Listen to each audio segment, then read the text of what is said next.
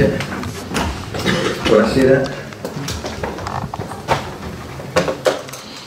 Io intervengo dopo tante cose importanti dette e intervengo con un taglio un po' diverso, se mi permettete, perché prima di, eh, di descrivere quello che, che vorrei descrivervi, che è un'iniziativa molto importante che ricade nel campo della protezione dei dati, eh, vorrei puntualizzare un paio di cose.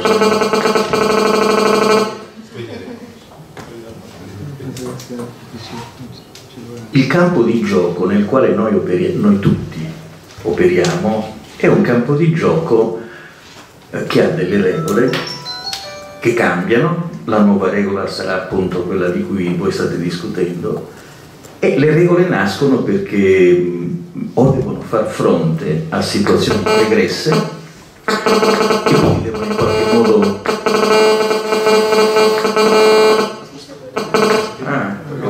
lo allontani pure, è più facile allontanarlo che non spegnerlo oppure subentra in un secondo momento per prevedere il futuro. Ora il campo di gioco che è quello del regolamento europeo si occupa di una cosa, i dati, e noi non dobbiamo dimenticare che tutto quello di cui parliamo, cioè la compliance, l'ottemperamento a delle regole, eccetera, eccetera, non deve distrarci dal pallone. Il pallone sono i dati. I dati. I dati stanno cambiando il modello di business mondo. Noi abbiamo prima un mondo il cui modello di business posto che il mondo sia un'azienda, aveva un modello di business basato sul petrolio. Oggi il modello di business è cambiato. Oggi il modello di business si basa sui dati. Naturalmente, come nel petrolio, chi fa soldi non è chi ha il petrolio, ma chi ha le raffinerie. Tant'è che se cambia il prezzo del barile 40 o 100 dollari, e voi pagate sempre più o meno alla pompa lo stesso importo. Quindi è il raffinatore che fa grande business. E sui dati è la stessa identica cosa. Certo che è il petrolio del, di questo secolo, ma chi è che fa i quattrini su questa roba? Il supermercato che mi prende i dati per la carta fedeltà per sapere quanta carta igienica consumo o se preferisco una pasta piuttosto che un'altra, se sono gluten free oppure no, sì, in scala anche quello, ma la vera posta in gioco è una posta in gioco globale, come lo era per il petrolio. Le sette sorelle lottavano per il controllo sul mondo e le guerre si sono fatte per questo, per territori, per materie prime, per sbocco al mare e sul, sui dati noi avremo la stessa identica dinamica. La differenza è che a porre in essere questo meccanismo non sono stati sovrani, come accadeva in passato per le guerre, ma sono delle corporations. E il rischio non è il supermercato che mi prende i dati della carta fedeltà, anche se poi il supermercato non è il droghiere di cui conosco il cognato o la figlia, ma in genere una catena mondiale nemico, diciamo, lo Stato nemico che mi, mi, mi minaccia è, è, a casa nostra, è Facebook, è Google, è, è IBM, è Microsoft. Questa è la posta in gioco di cui voi state parlando e questo deve essere chiaro. Non pensate che la partita si giochi sul fatto che voi avete messo quel bollino in più, in meno, avete messo quello che ha il titoletto in più o il titoletto in meno, quindi siete sanzionabili. Perché il mestiere del garante non è quello di mettere le multe. Quando si arriva ad una multa hanno perso tutti, sia chi multa che chi viene multato. Tant'è che un'autorità regolatoria educante, intelligente, previgente, si mette a disposizione, come fa anche il garante della privacy, e dice alle imprese e alle pubbliche amministrazioni c'è qualche problema? Chiedetemi il parere prima, vi dico io come fare per non sbagliare. E quelle multe da 4% del fatturato, 20 milioni sul fatturato di quota massima, si fanno non per essere cattivi ed esercitare un potere coercitivo, ma si, si, si, si, scrive per dire la multa è talmente alta che non bisogna neanche arrivarci, perché se ci si arriva è troppo tardi. E allora, se questo è il campo di gioco e se quello è l'arbitro, facciamo due considerazioni, una per l'uno e una per l'altra. I dati. Attenzione, noi tutti siamo debitori verso gli Stati Uniti, perché siamo debitori per la democrazia, perché ci hanno salvato dal nazifascismo.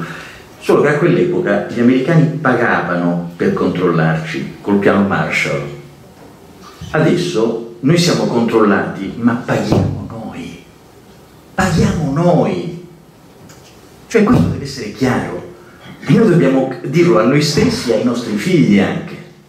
Perché se il modello di business del mondo sta cambiando, vuol dire che tutti quanti noi stiamo partecipando a un gioco di cui non ci rendiamo conto. E se la posta in gioco è il controllo del mondo, noi stiamo partecipando a un gioco molto complesso. Allora, se dai dati ci spostiamo al regolatore, all'arbitro, e qui dobbiamo fare un'altra considerazione. Noi vogliamo un arbitro forte, non vogliamo un arbitro a cui si dica arbitro cornuto e lo si insegue fino all'automobile riempiendolo di sberleffi. Per avere un, ar un arbitro forte, noi dobbiamo essere sicuri che chi esercita il controllo può esercitarlo e ha l'autorevolezza per farlo, oltre che il ruolo. Allora, facciamo parlare i numeri. Questo regolamento europeo nasce per difendere l'Europa, deve essere chiaro questo deve essere chiarissimo. Non è un gioco giuridico né un'esercitazione di diritto. Il regolamento nasce per arginare lo strapotere di multinazionali e per dare dignità all'Europa. Perché ciascuno Stato europeo, se da solo maneggia queste cose, è una nullità. Quindi l'Europa parla con una sola voce con il GPDR proprio per questa ragione. E allora, dato che deve contare questa cosa, e dato che noi dobbiamo considerare che il regolatore deve essere forte, e noi non possiamo avere un garante privacy che ha 113 dipendenti. Faccio parlare soltanto i numeri. La GCOM ha 351 dipendenti, l'antitrust ha 257 dipendenti, l'autorità dell'energia ha 190 dipendenti, l'autorità dei trasporti, che qualcuno di voi non sapeva neanche che esistesse, a 150 dipendenti. Il garante della privacy ha 113 dipendenti. Non aggiungo altro. Vogliamo spostarci in Europa? Tra tutti i garanti europei? La Germania che ha 82 milioni di abitanti ha 593 dipendenti. La Gran Bretagna con 63 milioni di abitanti 496 dipendenti. La Francia con 67 milioni di abitanti 192 dipendenti la Spagna con 46 milioni di abitanti 166, l'Italia con 60 milioni ne ha 113. Noi abbiamo 8.000 comuni in Italia, la legge prevede che qualunque comune possa fare un interpello al garante e dire caro garante, in virtù della tua disponibilità a prevedere gli errori, mi dici se facendo questa cosa io cado in errore oppure no. Qui il legislatore naturalmente ha dichiarato cose ferre, tu mi devi dare un riscontro e sei obbligato a darmelo in 14 o 16 giorni, non ricordo bene, qui ci sono gli avvocati. Naturalmente il legislatore italiano quando fa le leggi non fa un'analisi di impatto prima, per sapere se quelle regole sono percorribili. Negli Stati Uniti, che rimane comunque un grandissimo paese, qualunque legge venga fatta, si valuta prima qual è l'impatto sull'economia digitale. Naturalmente quando io dico per legge che un comune può avere una risposta in 14 giorni se non 8.000 comuni, ma neanche il 10% 800, ma neanche il 5% 400, ma appena l'1% 40 chiedessero degli interpelli, dovendo rispondere in 14 giorni, sabati e domenica comprese, e che cosa avviene? Che il, che il garante si occupa solo degli interpelli dei comuni il meccanismo si inceppa. E allora se io voglio che un settore non funzioni, sapete cosa faccio? Se io voglio che la casa si fermi, io chiudo il gas, così d'inverno muoiono di freddo. voglio che il bar non chiuda, gli chiudo l'acqua, così non si può usare il bagno. Arriva l'uffilato e dice tu devi chiudere. Ci sono tanti modi indiretti per porre qualcosa, perché a quel punto quando il garante non risponde, cosa si dirà? Eh, ma il garante non funziona. Sì, vabbè, la privacy sarà pure una cosa importante, però ecco i soliti d'Italia, poi facciamo le cose e non sappiamo mantenere fede. Cioè parte quello che nel Barbiere di Siviglia era chiamato il venticello della calunnia. Cioè un pochino per volta si delegittima una struttura con il meccanismo tipico che noi latini conosciamo molto bene, che è quello dell'isolamento, dell'operazione chirurgica intorno. Quando il cornuto scende in piazza nessuno gli si avvicina e cammina sempre solo. Questo è, quel, è il vero rischio a cui noi andiamo incontro. Allora, come fare per, interro- per inceppare un meccanismo del genere? Bisogna avere consapevolezza sul campo di gioco e bisogna avere consapevolezza sulla posta in gioco.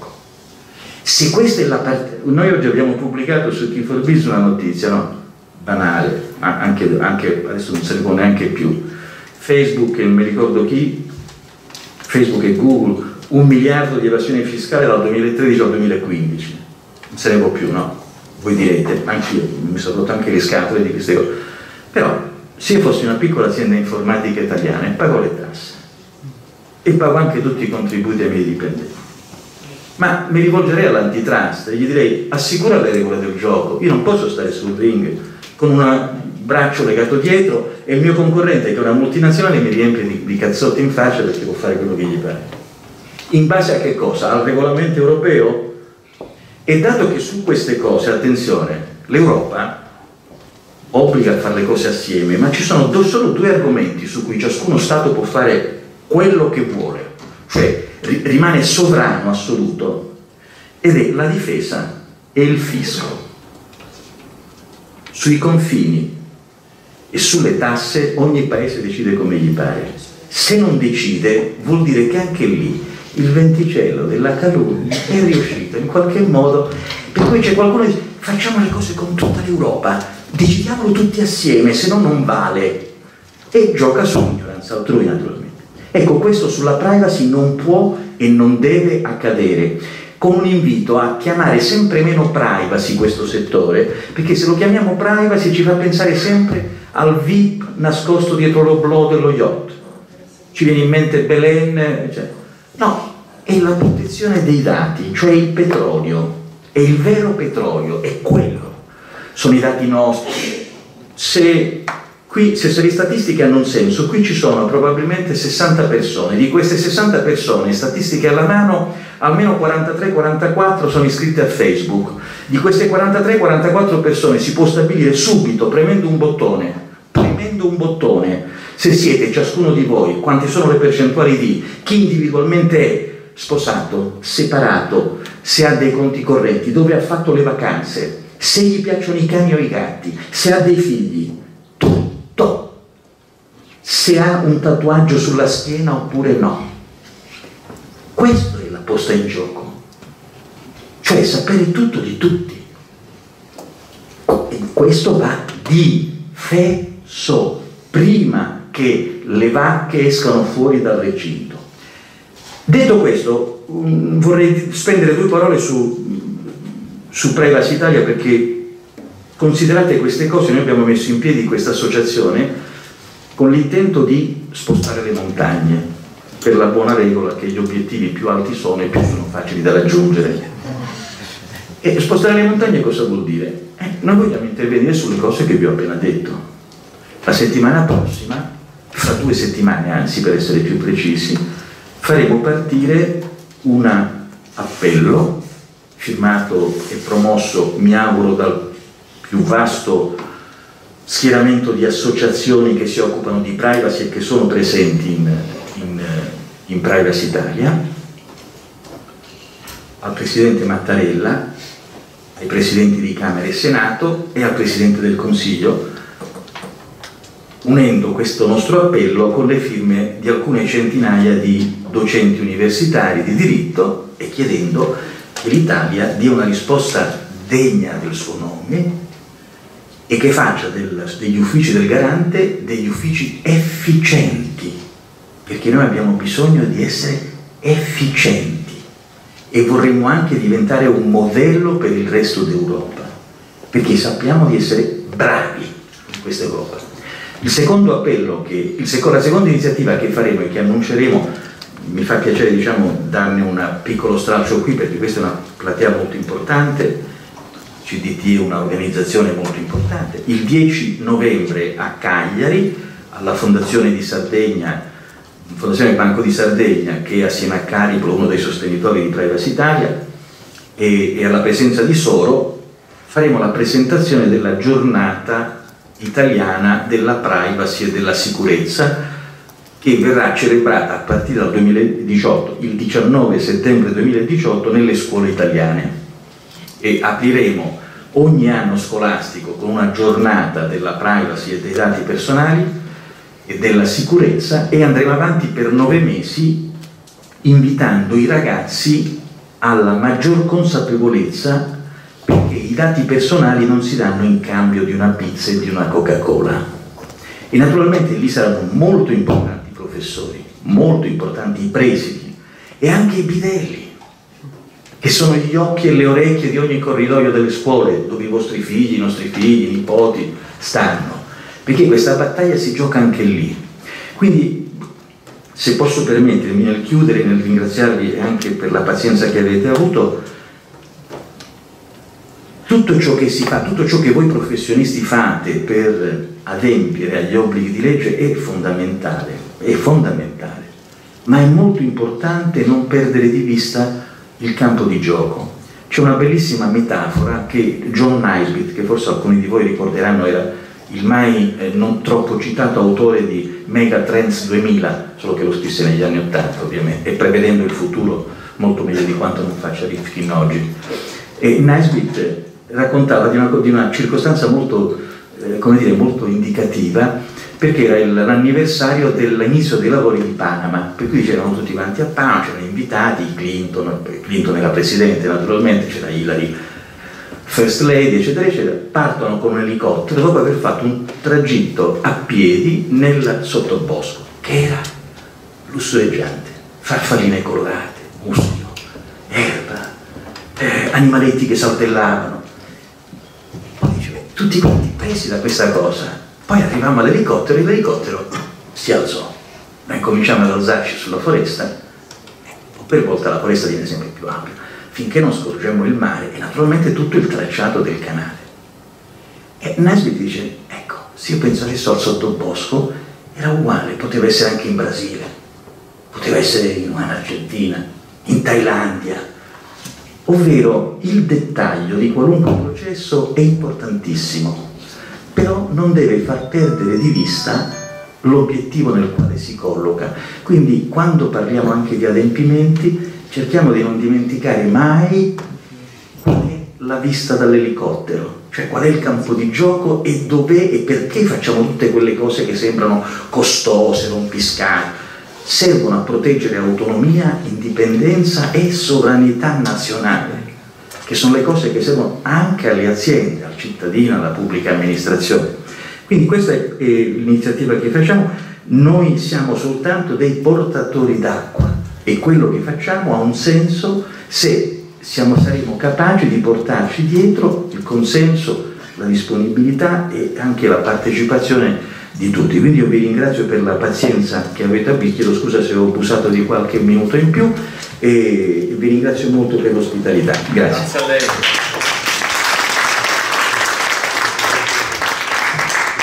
Siamo